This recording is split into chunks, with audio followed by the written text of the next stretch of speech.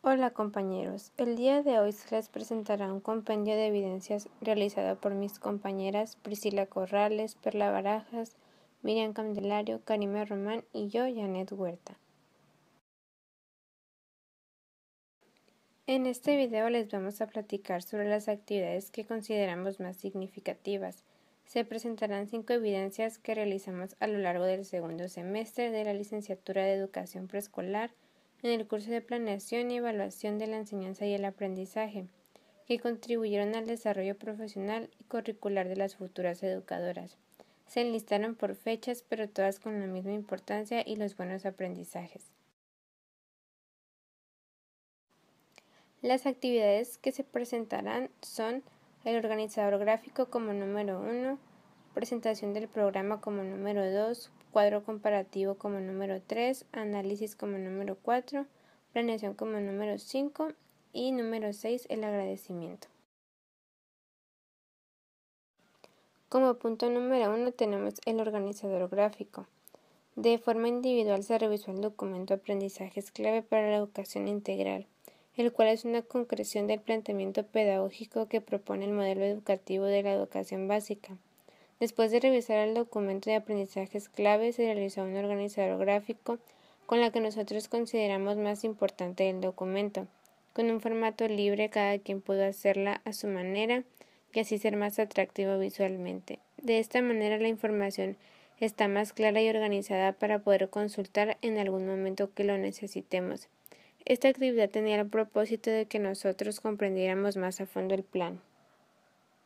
A continuación se presenta la evidencia.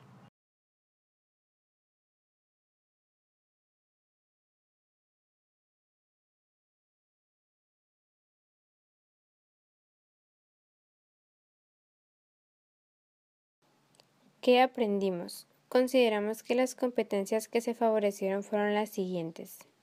Integra recursos de la investigación educativa para enriquecer su práctica profesional, expresando su interés por el conocimiento, la ciencia y la mejora de la educación. Utiliza los recursos metodológicos y técnicos de la investigación para explicar, comprender situaciones educativas y mejorar su docencia.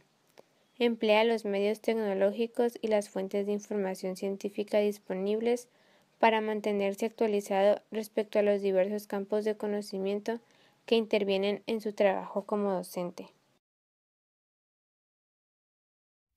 Punto número 2. Presentación del programa.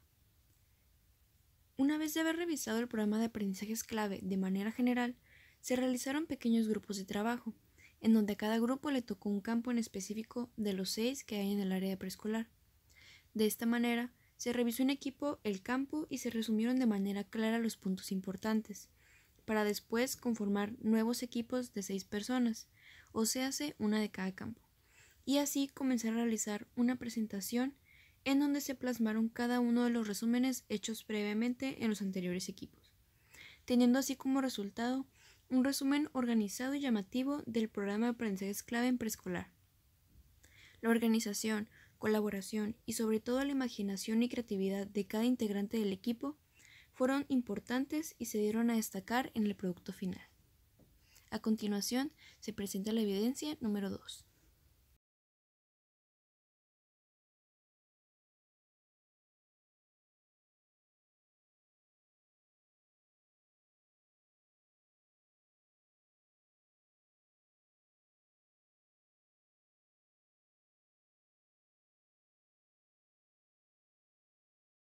¿Qué aprendimos?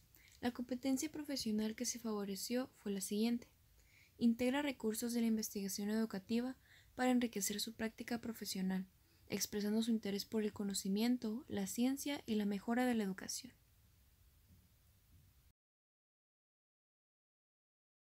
Punto número 3. Cuadro comparativo. Al analizarse todos los temas de los campos formativos o áreas del programa de preescolar 2017, se elaboró un cuadro comparativo donde se recuperó la información por cada campo formativo. Se revisó el programa de aprendizajes clave para la educación integral y así complementar un cuadro para conocer más acerca de cada uno de ellos, como sus propósitos generales, propósitos por nivel, enfoque pedagógico, papel del docente, organizadores curriculares, aprendizajes por campo y las orientaciones didácticas.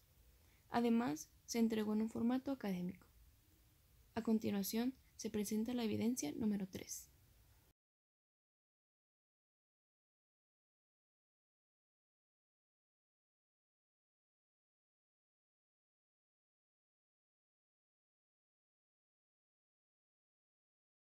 ¿Qué aprendimos? La competencia profesional que se favoreció fue la siguiente. Integra recursos de la investigación educativa para enriquecer su práctica profesional, expresando su interés por el conocimiento, la ciencia y la mejora de la educación.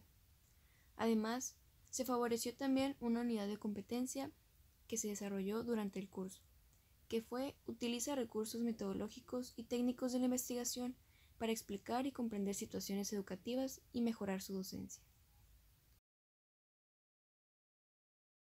Punto número 4. Análisis de clase.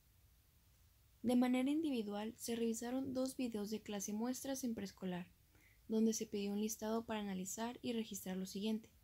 Momento de desarrollo de la clase, actividad de aprendizaje, actividad de evaluación, evidencias de aprendizaje, uso de materiales para llevar a cabo las actividades, instrumento que se usó para evaluar y condiciones textuales que intervienen en la organización del trabajo en el aula escolar. Al ver los dos videos, se registró en un documento todas las características mencionadas y al final una pequeña recomendación para las docentes observadas. A continuación se deja la evidencia número 4.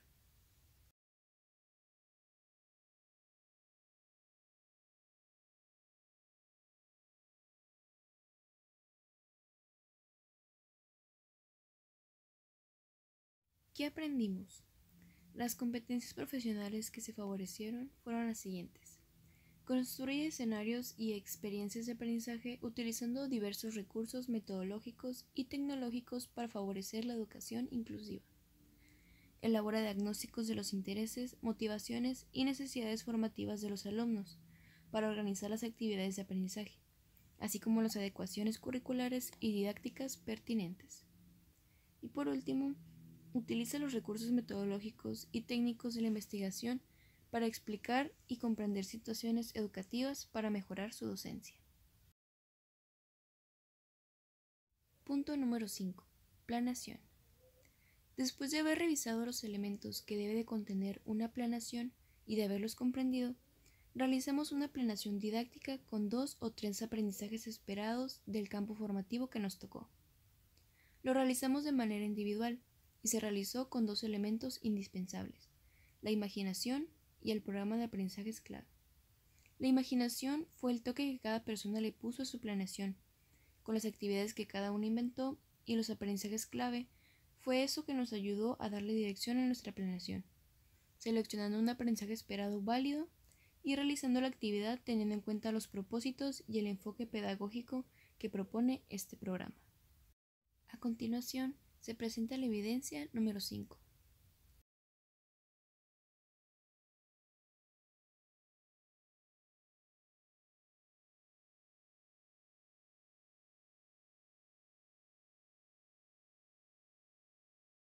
¿Qué aprendimos? Las competencias profesionales que se favorecieron fueron las siguientes. Construye escenarios y experiencias de aprendizaje utilizando diversos recursos metodológicos y tecnológicos para favorecer la educación inclusiva. Elabora diagnósticos de los intereses, motivaciones y necesidades formativas de los alumnos para organizar las actividades de aprendizaje, así como las adecuaciones curriculares y didácticas pertinentes. Y por último, utiliza los recursos metodológicos y técnicos de la investigación para explicar y comprender situaciones educativas para mejorar su docencia. Como conclusión, creemos que el curso nos ha dejado bastantes enseñanzas para nuestra formación, teniendo en cuenta estas cinco evidencias, pero también todos los demás trabajos que nos han gustado y nos dieron muchos aprendizajes, además de las competencias que ya hemos mencionado anteriormente.